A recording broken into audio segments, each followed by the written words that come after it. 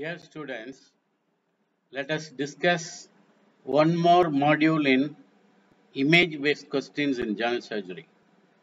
So this is module number three and we are going to see the case scenarios in GI hemorrhage. Not only the upper GI, both upper and lower GI hemorrhage we are going to discuss.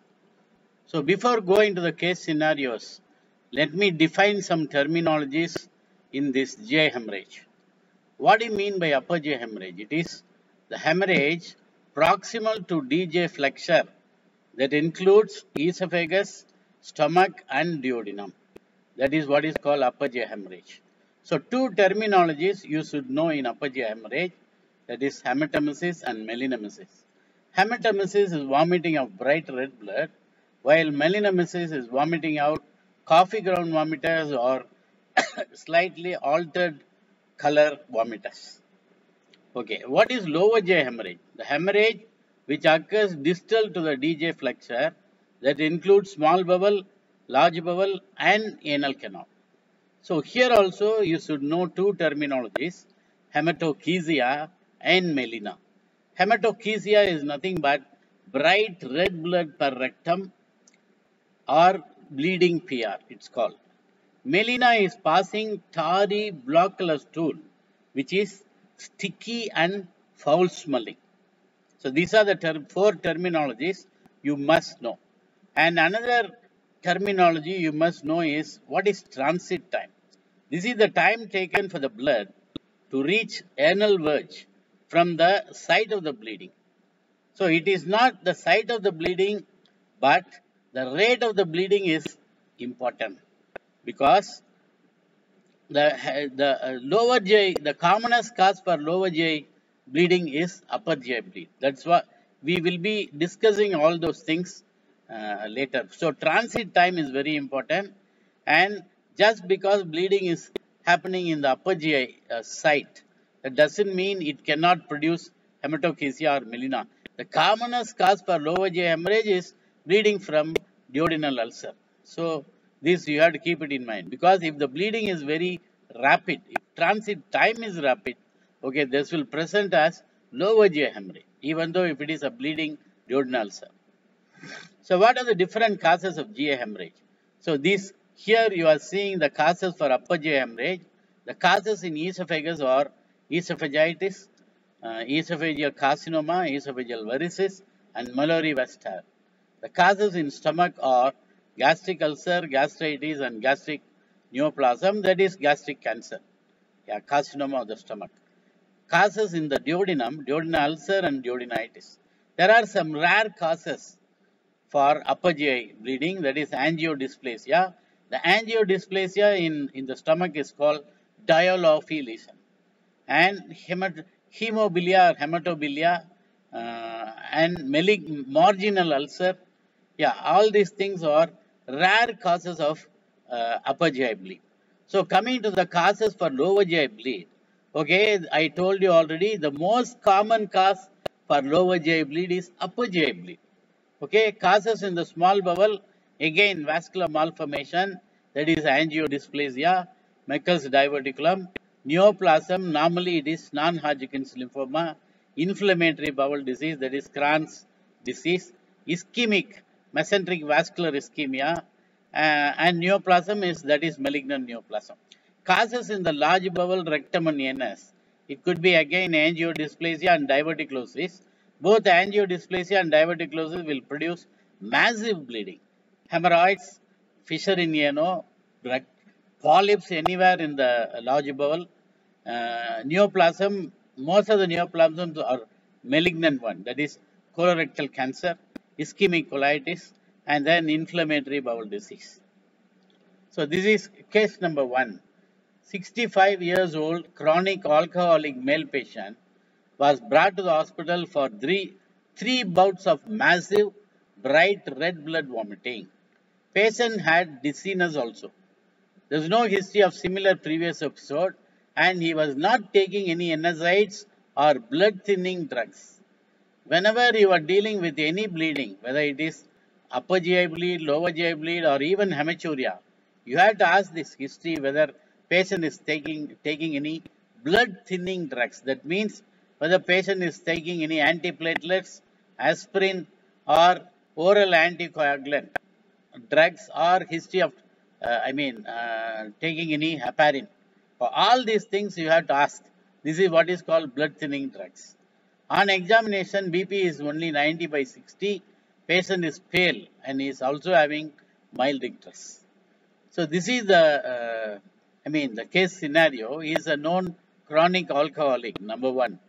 Massive bleeding, bright red bleeding, hematoma, massive hematoma. Patient is also having dizziness. That means massive blood, blood loss. He is not taking any NSAID or blood thinning drugs. BP is, he is definitely hypotensive. Okay, and this is the upper GI scopy.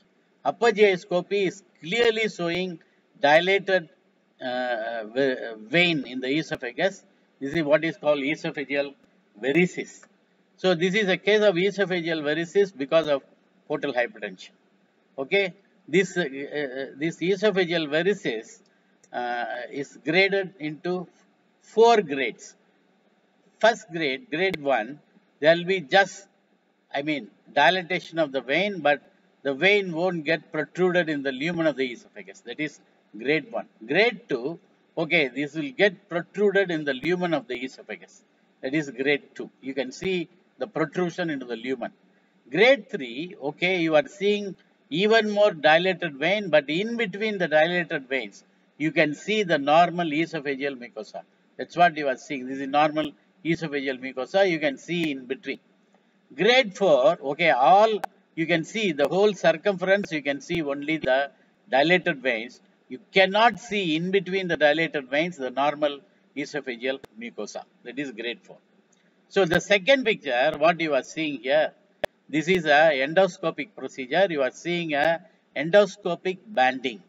This is what you are seeing here. Okay. So how will you manage this patient in A&E?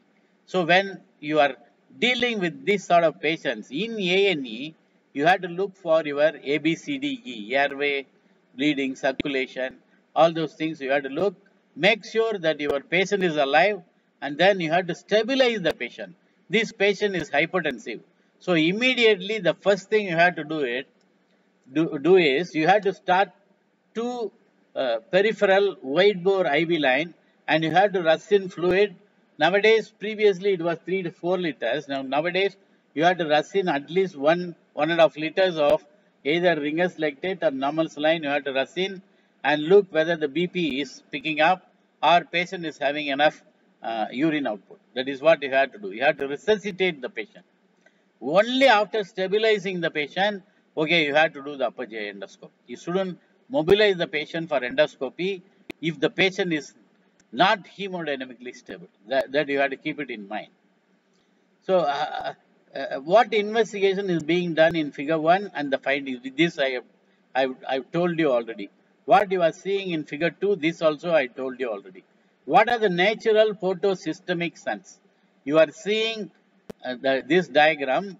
Here you are seeing the, the photo natural portosystemic shunt will take place in the esophagus, that is esophageal varices over the bare area of the liver, over the umbilicus, caput medusa, retroperitoneal area, and the hemorrhoids, the superior hemorrhoidal vein.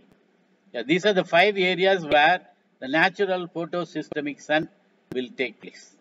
Okay. what tube is shown in figure 4 and its use? This, this is a four luminal tube. This is Minnesota tube. If it is triluminal tube, then that is called Sengstaken Blakemore tube. So this tube, what this is only for using to temporarily arrest the bleeding. So first what you have to do after stabilizing the patient, you have to do an GI endoscope.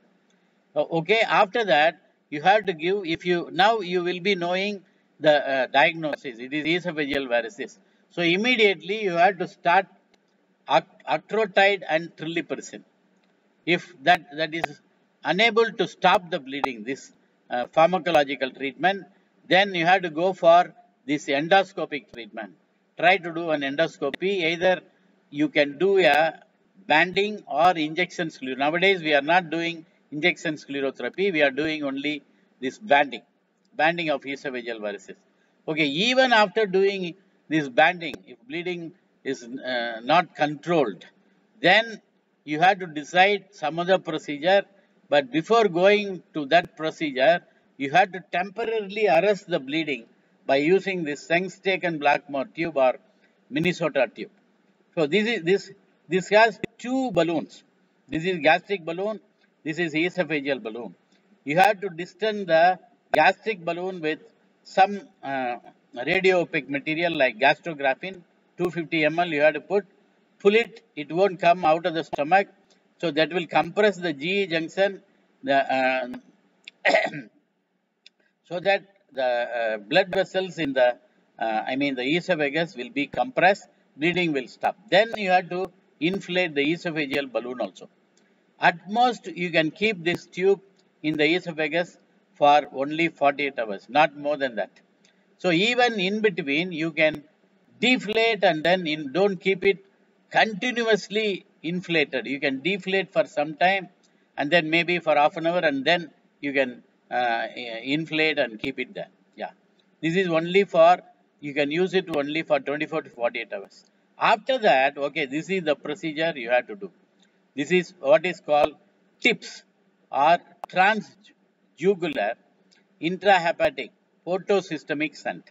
See, this is the portal vein and this is the hepatic vein. So, you have to put a uh, shunt, I mean, in between these two veins. So, blood from the portal vein, because portal hypertension will go to the hepatic vein. Okay, this is what you have to do. This is called TIPS.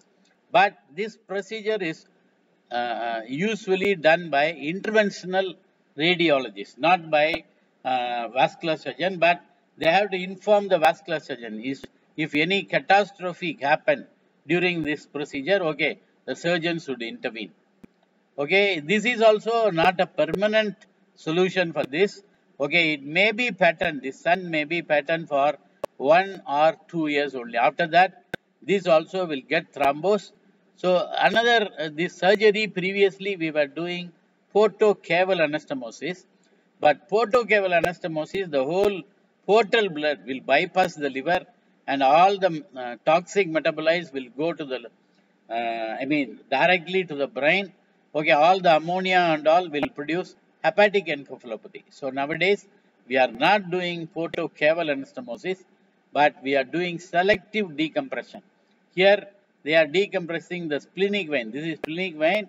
You have to join it with left renal vein. This is called splenorenal uh, shunt or Warren shunt. Or another selective shunt is mesocaval shunt. That also you can do where not all the portal blood will, will be bypassing the uh, liver. Some of the blood will go through the portal vein into the liver and it will get detoxified. So that is what we were doing. But this also is not a uh, final solution if uh, if patient is having cirrhotic liver, the only answer is you have to go for uh, liver transplant. But already the patient is very sick because of these problems. They may not withstand, yeah, uh, I mean the hepatic transplant. So these are the answers I have given. You have you can go through this, and I have given the reference also from the Bailey and which pages you have to read for this particular case. So coming to the case number 2, this is a 58-year-old man present to the A&E following several episodes of coffee ground emesis. While awaiting evaluation, he suddenly vomits large volume of bright red blood. As he is urgently transported to the resuscitation bay, his wife explains that he is generally healthy except for a stomach ulcer he had the previous year. He has never had an operation and takes no other medications. On examination, patient is distressed but oriented. Pulse rate is 115. BP is 100 by 70 millimeters of mercury. Mild epigastric tenderness is there. Okay.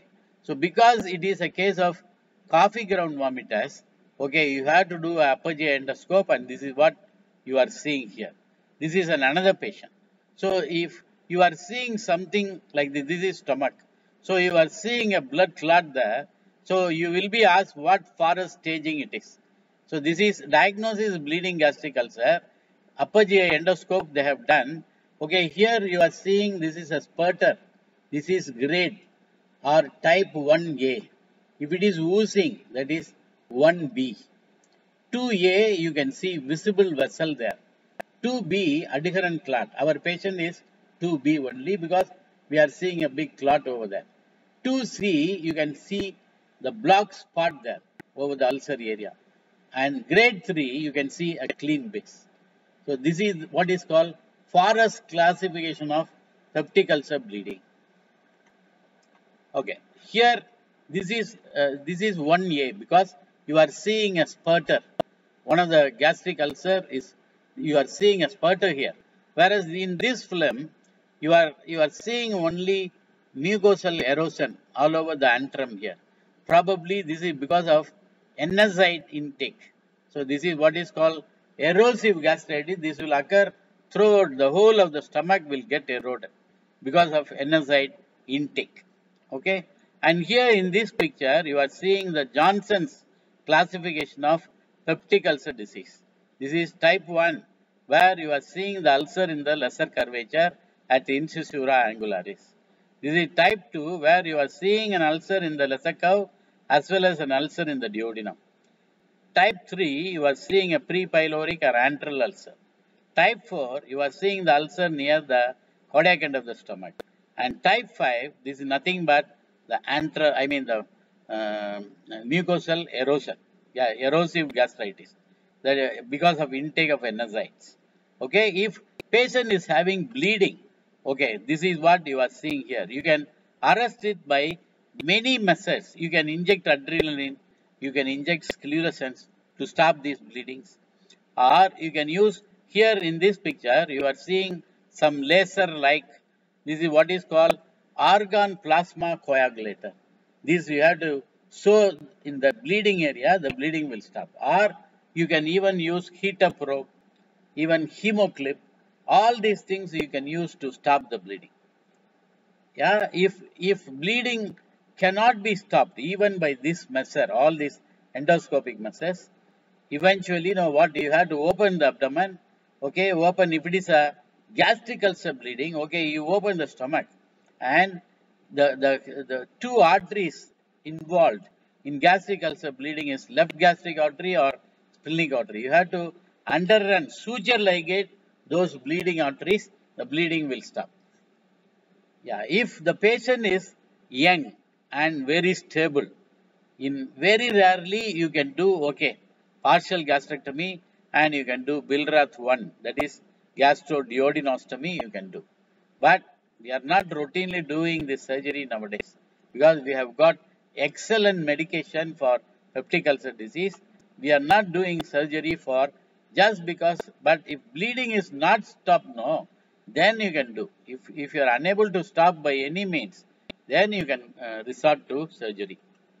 So this is also okay. You can, you can, whatever I have discussed so far, no, it is all there in the answer. You please go through it because this uh, PowerPoint or the PDF file will be shared to all of you. Please read all these things just before your exams. Case number 3, a 70-year-old male, male with a history of coronary artery disease on aspirin and uncontrolled diabetes mellitus present to the emergency room with sudden onset of hematemesis and melena. On examination, on admission, patient is tachycardic, hypotensive, demonstrate a soft and non-tender abdomen. Rectal exam shows dark stool that is guaiac positive. guaiac positive means fecal occult blood test is positive. This is the upper GI endoscope where you are seeing a blood vessel is exposed. So this is, what is the stage? This is 2A because you are seeing a blood vessel there. And this is of course 1A because you are seeing a spurter. This is first part of the duodenum. This is second part of the duodenum where you are seeing a spurter.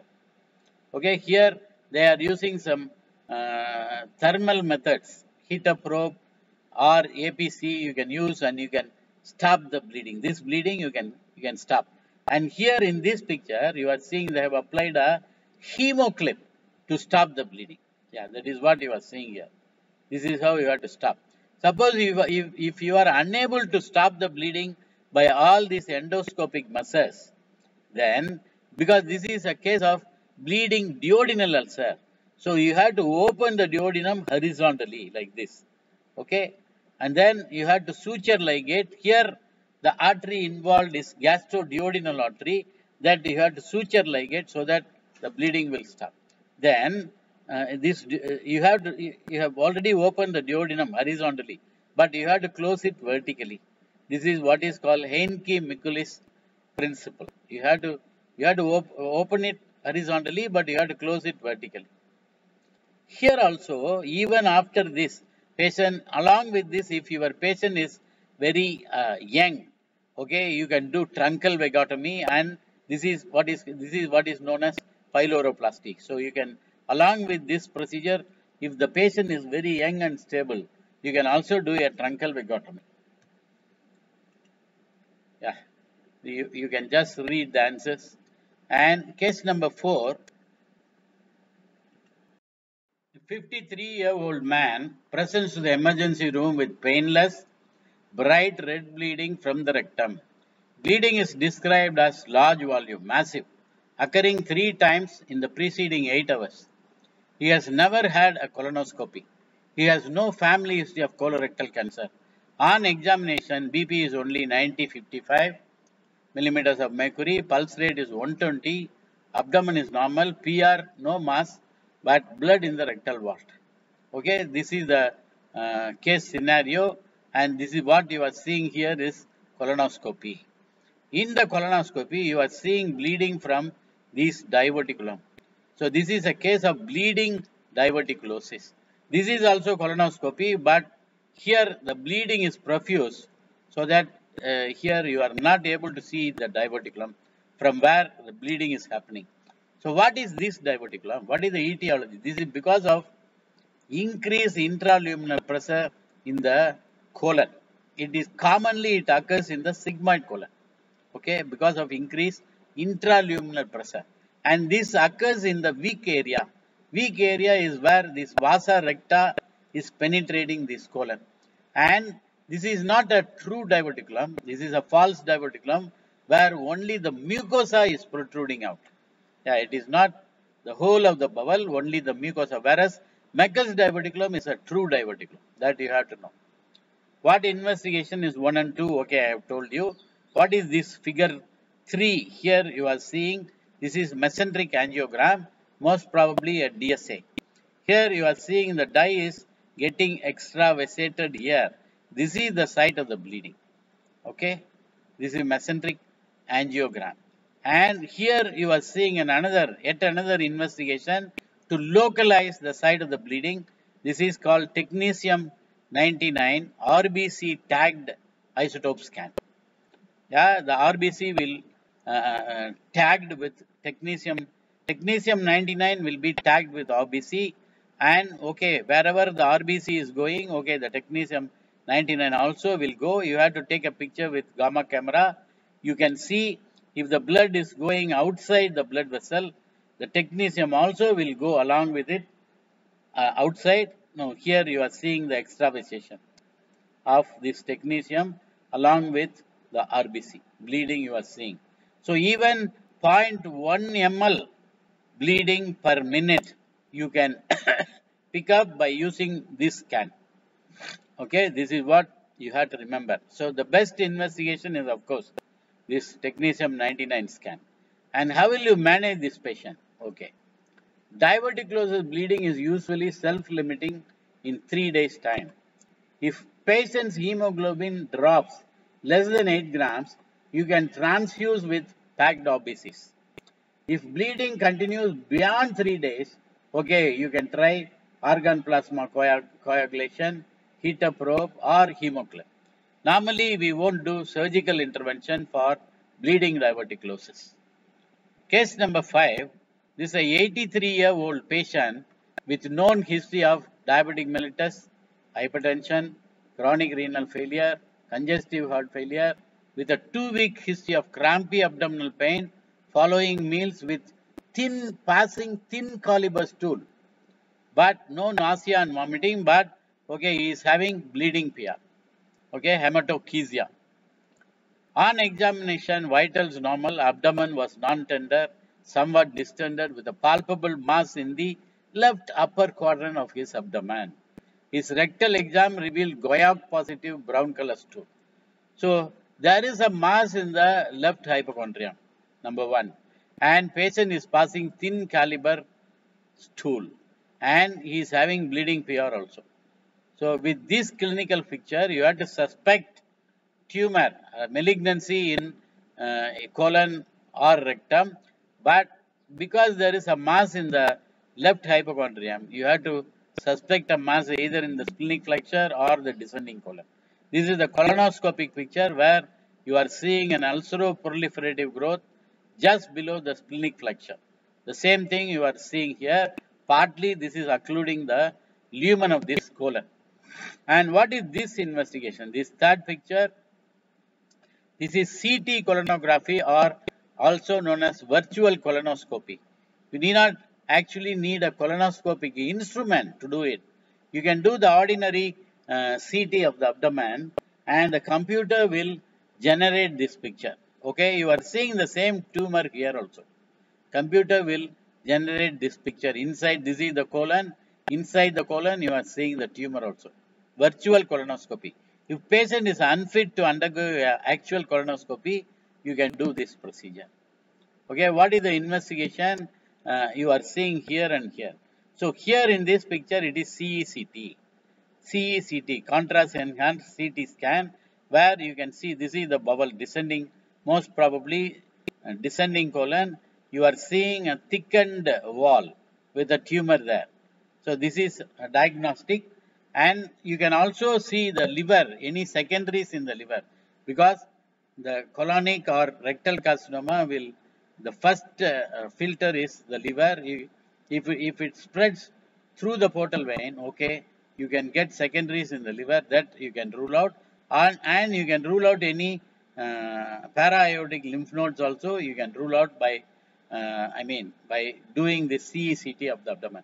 And this investigation is a barium enema where you are seeing a classical apple core appearance. Okay, there are four types of colonic carcinoma. One is the ulcerative type, uh, the cauliflower type, annular variety and tubular variety. In tubular variety, you will have this apple core type. If it is a annular variety of uh, colonic cancer, you will get what is called napkin ring appearance. That is what you will have. Yeah. What is the staging system for colorectal cancer? There are three staging system. One is Duke staging, uh, Astler Coller modified dukes or TNM staging. So what is the tumor marker for colorectal cancer and its importance? The tumor markers is CEA. This CEA is not having any diagnostic significance, but in the follow-up or surveillance, it is important to pick up early recurrence or metastasis. That is the importance of CEA. Just because some patient is having, I mean, elevated CEA, that doesn't mean patient is a case of, uh, I mean, uh, colorectal cancer. What is the treatment you will do in this patient? Of treatment depends on the staging of this patient. Uh, in early cancer, without distant metastasis, radical extended right hemicolectomy should be done for splenic flexure growth. In advanced cases, we have to give only chemotherapy and there is no role of radiotherapy in adenocarcinoma anywhere in the world. Please keep it in mind because it is not radiosensitive. Adenocarcinoma, there is no role of radiotherapy for the primary tumor. If it is, if there is secondaries in the bone, for the secondary in the bone, you can give radiotherapy for pain relief, not for the primary.